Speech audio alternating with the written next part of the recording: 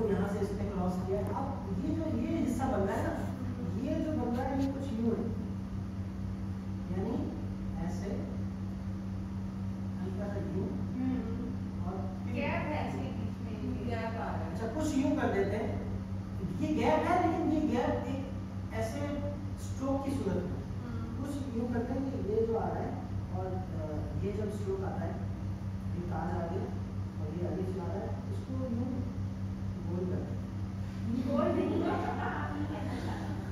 यानी ये ये यूँ कर देते हैं ना तो खुद के लिए बात नहीं देखें ये करना नहीं है अच्छा ये जो हो गया ये हो गया यही है असल ये अच्छा ये ये दुरुस्त है मुस्तहसन नहीं है अच्छा नहीं है यानी ये नहीं कह सकते कि ये गलत है। है भी ठीक करते हैं ऐसा लेकिन ये फितरी नहीं है। इसमें आपको तकल्लुफ करना होगा और ये जो आ रहा है ना, ऐसे ये ये चीज़ मैंने आपको बता दी पूरी तफसील के साथ मैंने आपको अलिफ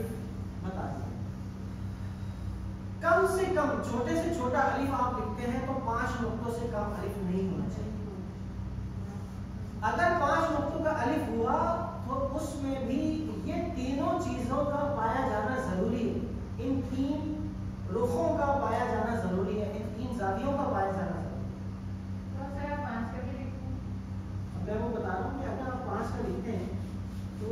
आप क्या करेंगे कि पहला ऐसे ही दूसरा थोड़ा बड़ा तीसरा यानी लेफ़्ट से राइट फिर स्ट्रेट फिर राइट से लेफ़्ट ये तीनों चीज़ें पाँच नुक्ते वाले अलिफ में भी पाई गई मतलब पाई जानी चाहिए हाँ। ये नहीं कि आप ये करें कि ये हो गया? अब यही होगा चार बार हो जाते हैं यही होगा तो यानी देखें आदमी लंबा हो या छोटे कद का हो, उसके जिस्म है उसके जो आज़ाद हैं आज़ाद हैं, वो पूरे होने चाहिए। तो लफ्ज आपको छोटा और बड़ा। अच्छा इसमें क्या होगा, जब आप सुरुज जरी में अलिफ बनाएँगे आप मैंने कहा भाई, वो तो बड़ी एक इमारत है, तीन मंजिल आपने उसको लिखना है।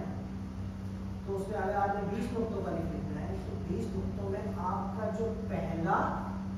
और आखिरी स्ट्रोक ढाई ढाई नुक्तों का ही होगा, दरमियान वाले को। लंबा कहेंगे बात समझ रहे? यानी ये हिस्सा ढाई नुक्तों का ही होगा ऊपर देखेंगे ये ढाई का होगा लंबा किसको करना है इसको वाले जो स्ट्रेट सीधा है ना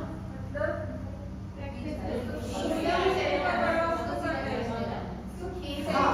यानी उसको आपने सोलह नुक्तों का करना है। सोलह नुक्तों का होगा ये सोलह नुक्तों का होगा ये ढाई के रहेगा वो ये ढाई के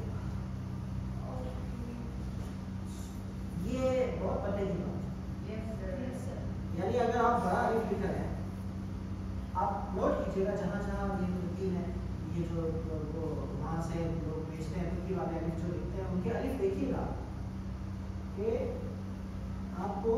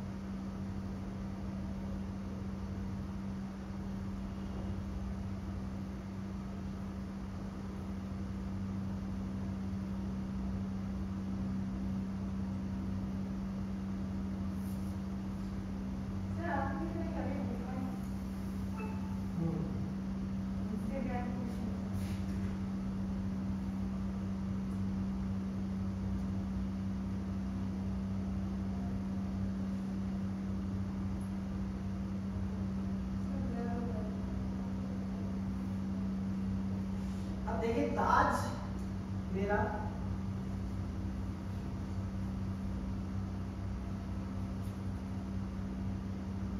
ताज हो उतना ही डेढ़ नुक्ते से ज़्यादा और दो से कम ये हिस्सा उसी तरह ये लंबा हुआ, आखिर में फिर मैंने ये कर दिया ढाई समझ रहे हैं ये मुद्दा है और इसमें चूँकि मैंने जली बनाया है तो इसमें आपको लचक नहीं दिख रही जो लचक है तो जितना अलिफ छोटा होता है उतनी लचक उसमें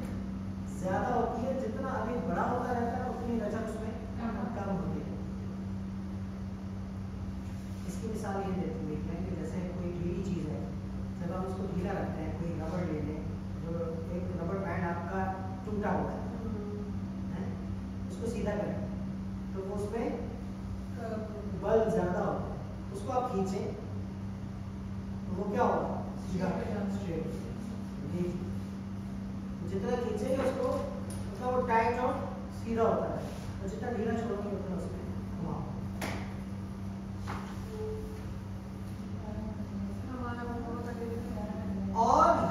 बिल्कुल ऐसा लगता है जिस तरह वो तुर्की ड्रामों में वो अपनी तलवार को हम लोग अलग भी ऐसा नहीं करते